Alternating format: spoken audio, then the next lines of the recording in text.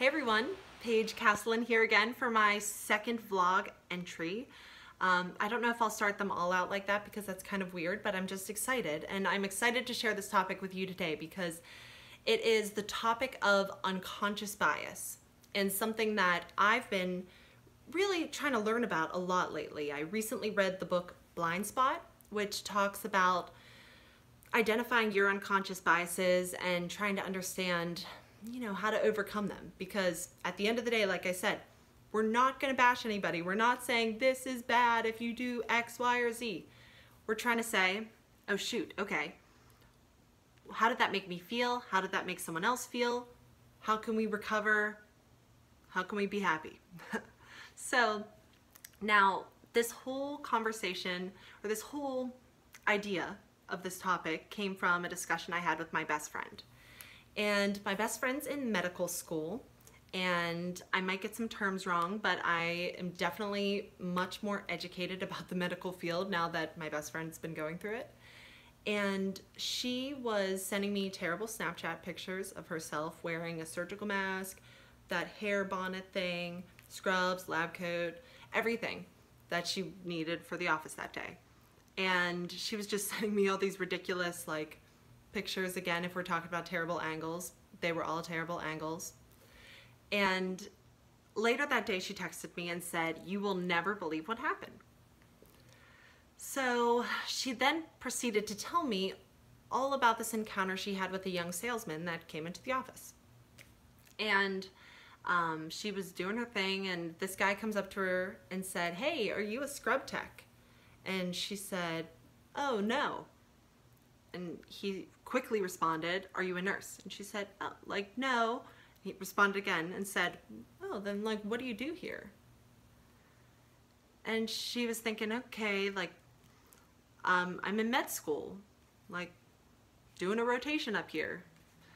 And he said, oh, okay, hmm, okay. Um, and then pulled out his business card and gave it to her and said, give me a call. I'd love to take you out sometime. And then she just was like left standing with his card, like, okay. And now there's two things that just kill me about this story. And the first one, of course, is um, like uh, a millennial woman never goes into the office, the chemical plant, the surgical room, the, I don't know, even like the classroom, like wherever, like if you're teaching, like you're never going and hoping one of your colleagues or one of your clients is going to ask you out on a date in a meeting. It just never happens. So, like, if any guys are watching, don't do that. And if you're watching and that's happened to you and it made you feel uncomfortable, you're not alone because you're there to do your job and somebody else is creating this awkward dynamic now between you two. And again, uh, it's just like, why does that happen? But the main thing we want to focus on today is the second part of this, where the guy never assumed that she was potentially a med student. And again, I think like especially the medical field, well, and the teachers. Like one of my best friends a teacher, and I just don't know how people are up and moving and taking care of all these people all the time, like the medical and teaching profession. I think I would be exhausted. Like I just sit at a desk for eight hours a day usually, and I still am tired then. So I think everybody in those fields is awesome and really hardworking. But my friend has told me this a couple times where she'll go out in her scrubs and when she tells people that she's in med school, everyone's always surprised. They're like, oh, really? Oh my gosh, I would have never, I would have never guessed. And, you know, it's, some people could say, oh, you just have to get more confidence. But like, first of all, I'm not going to tell my best friend that. And second of all, no, my best friend's like awesome. She's happy with her life. She's the smartest person probably in her med school. And she just, people don't associate being five foot ten and blonde and funny and maybe having curly hair and wearing high heels and all these things with being a doctor. And I experienced a little bit of that. Well, I experienced that at Virginia Tech. Not even a little bit. I experienced it at Virginia Tech. When I say oh, when I said I'm studying electrical engineering. And you get that painful look like, oh, okay, really? Wow, I wouldn't have expected that. And, you know, it's like, what do I think? You know, I'm not going to say, oh, yeah, I know, like, haha. Because it's 2018 and like what do you mean you can't expect that i'm smart? What do you mean i you didn't expect that i could do some like do that type of field or i don't know. So it's a challenging question and i think that as long as you're doing what aligns with your passion that's like that's the goal you know? That's the only thing you should be worrying about but if you're not doing what you're passionate about because people keep telling you like, mm, I don't know if that's a good fit for you, or I don't know if I could see you there, then I have some tips. Because again, you know, this is the part where I'm talking about experience and the feelings, and then the tips, like what can we do actionable to change these things? Now, I think the first thing would be when you do get questioned, like, oh, really? Don't agree. Don't say, oh, yeah, like, I know. Because my favorite quote is the standard you walk past is the standard you accept. And that's by General Morrison. And um, it is, it's a good quote because it talks about like if you are letting someone say something or something happen that you don't necessarily agree with, or that's perpetuating a culture that you don't agree with, and you don't say anything, then you're just kind of letting it go. So question it. Say, if someone says, like people tell me all the time, oh my God, I, I wouldn't have thought you studied electrical engineering. And I say, oh, like why? And then you get to watch them think like, oh God, shoot, what do I say? Like, why do I think that? You know, is that not accepted? It? And then they start to question, wait, maybe I, why do I have this bl these blinders on or unconscious bias of what I think someone else could accomplish just based on preconceived notions, stereotypes, whatever. Now the second thing is find a support system that tells you like you can do it. I think support is like the number one key to success. I've been in situations where people are telling me, you can do it, you can do it, you can do it. And I'm like, yes, I can do it. And I succeed.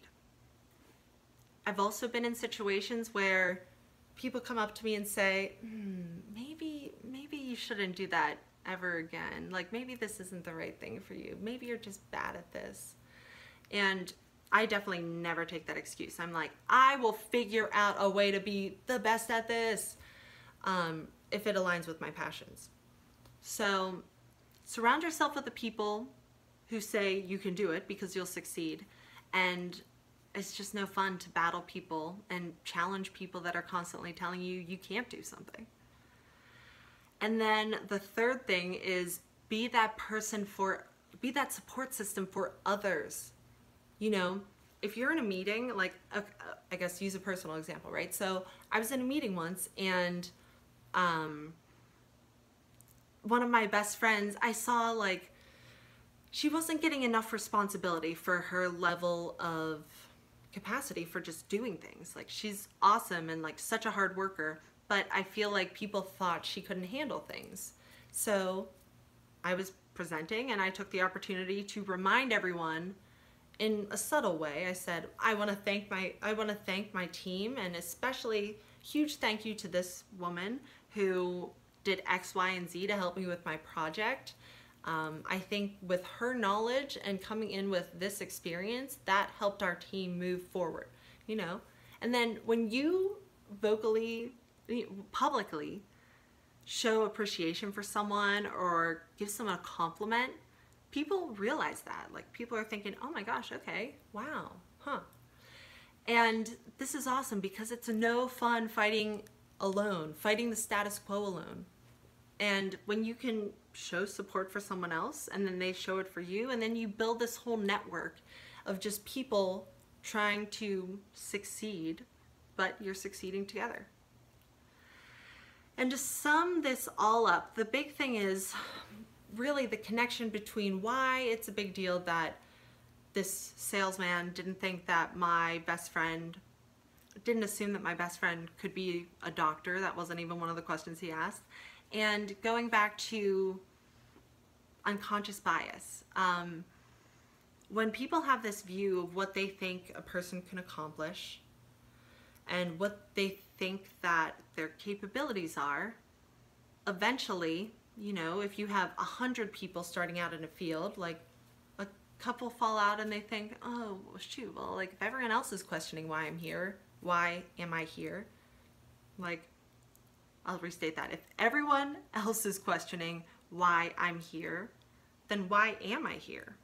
So then they go to a field that maybe is more inclusive.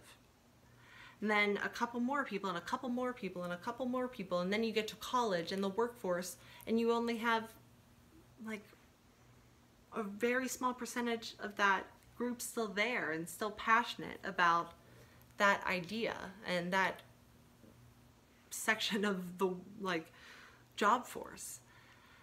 And you know, if we if we want more diversity, because diversity is directly related to innovation, um, because you can't solve problems for the entire world if you only have a portion of the world solving them. You, it's just, you don't know what the unmet needs are for everyone.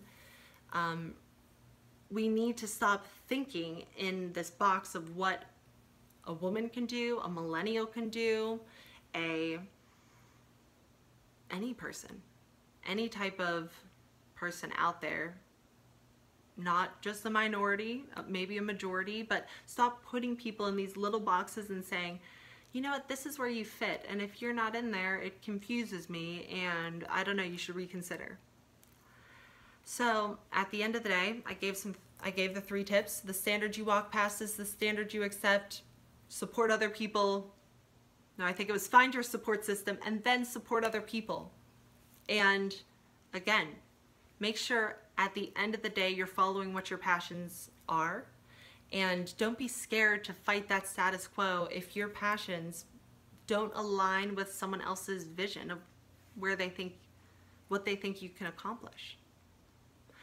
So thank you everyone. I hope you enjoyed this message. I hope, um, I hope not too many of you are facing this out there, but for those of you who are, I think we've all been there. So Go Rocket!